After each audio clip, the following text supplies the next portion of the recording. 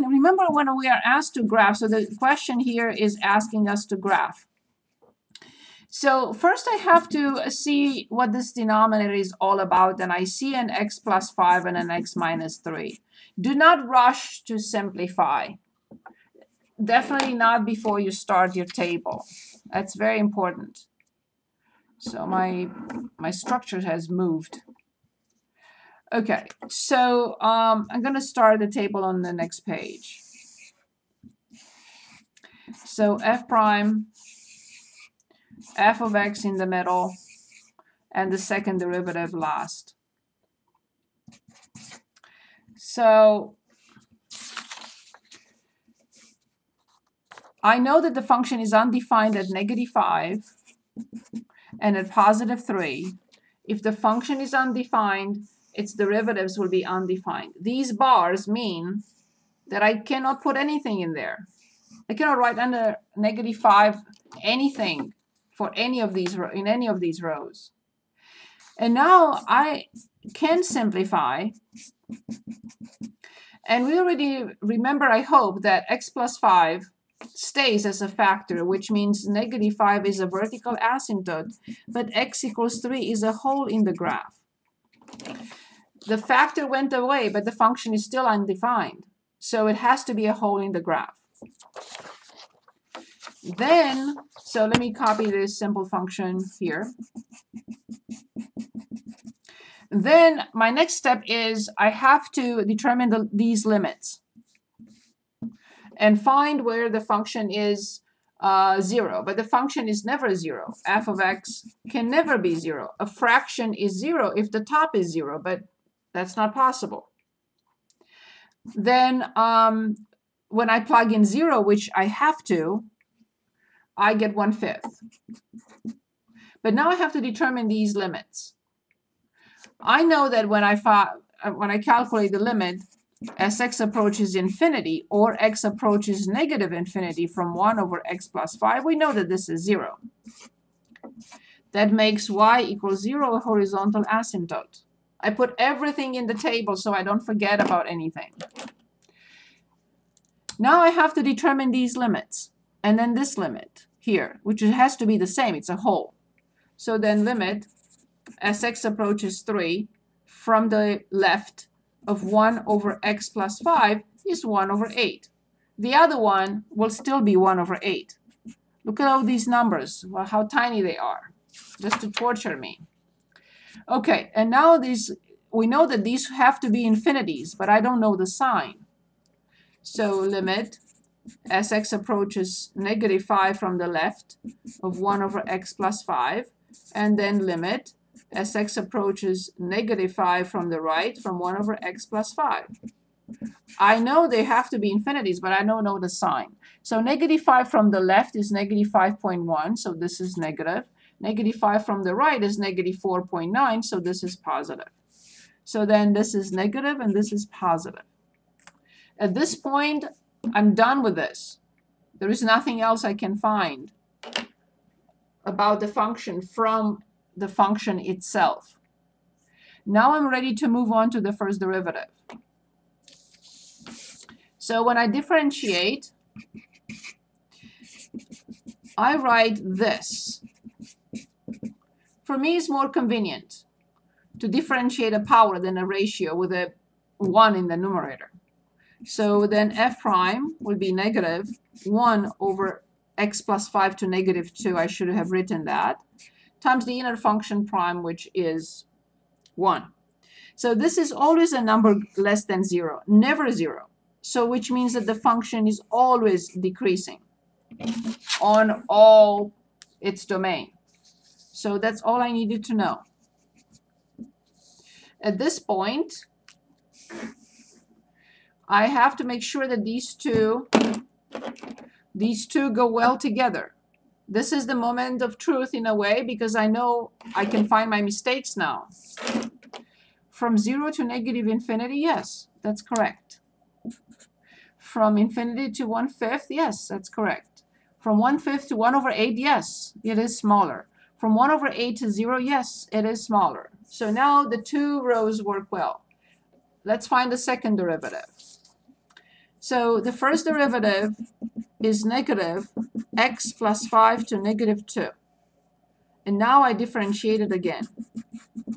Negative with a negative will be 2. x plus 5 to negative 3 times the inner function prime, which is 1. So this is 2 over x plus 5 cubed. Careful because this is not always positive. It could also be negative. To the left-hand side of negative 5 is negative. To the right-hand side, you can plug in numbers if you want, is positive. So here we say it holds water, and here it does not. Only after I completely fill up my table, I'm ready to graph it. Okay, so um, forgive me, these numbers are tiny, tiny, so uh, I'm not going to be able to graph that. Exactly, it's not possible. Okay, at negative 5, there is a vertical asymptote. So this is x equals negative 5. Also y equals 0, that's an overkill.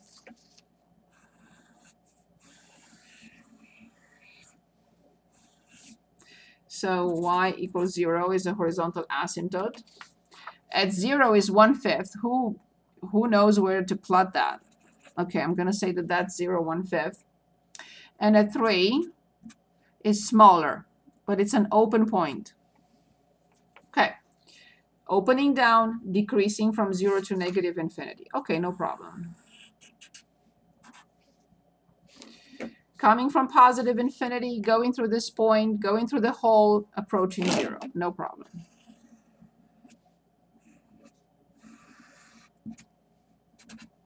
So this is f of x, x minus 3 over x squared plus 2x minus 15.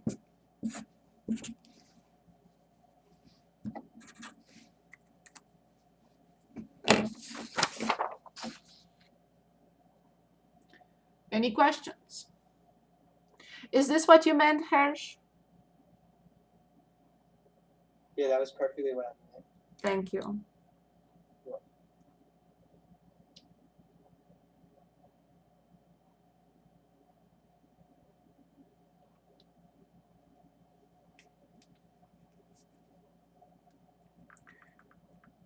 Is there anything else we want to work on?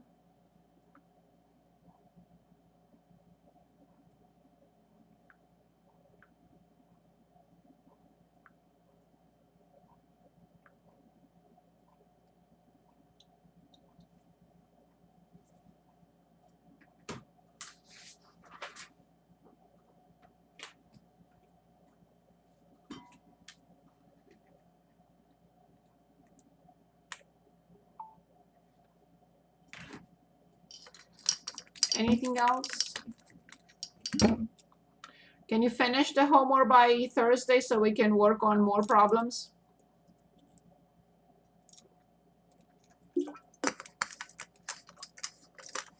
I have a question how you got the limit as x approaches 5? Not 5, negative 5. Oh, negative 5.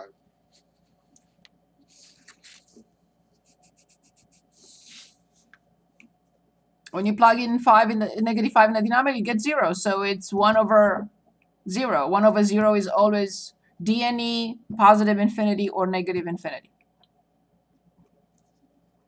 So negative 5 from the left is negative 5.1. Negative 5 from the right is negative 4.9. So that's why we have here x equals negative 5, a vertical asymptote.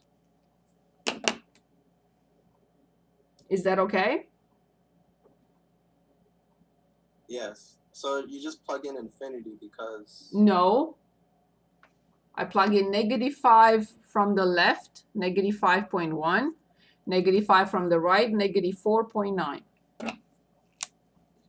This is negative 5. I plugged in negative 5.1 and negative 4.9. When I plug in negative 5.1, I get negative infinity. It's 1 over 0. 1 over 0 is always infinity or negative infinity. or DNE, but in this case it's negative infinity. When I plug in negative 4.9, negative 4.9 plus 5, both of them are positive, so it's positive. Here I have positive over negative, here I have positive over positive.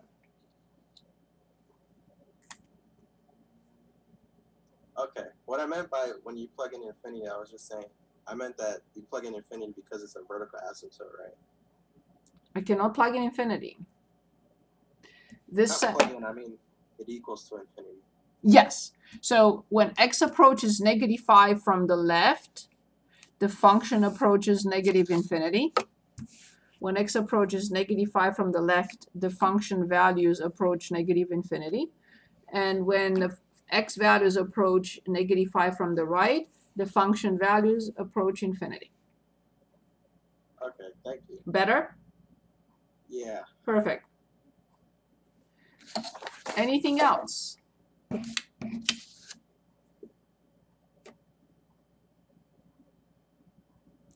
Please also look at um, the previous tests that I had last semester.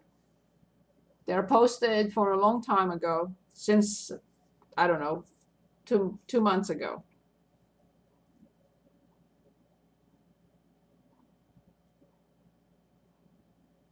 And let me know if you have any questions.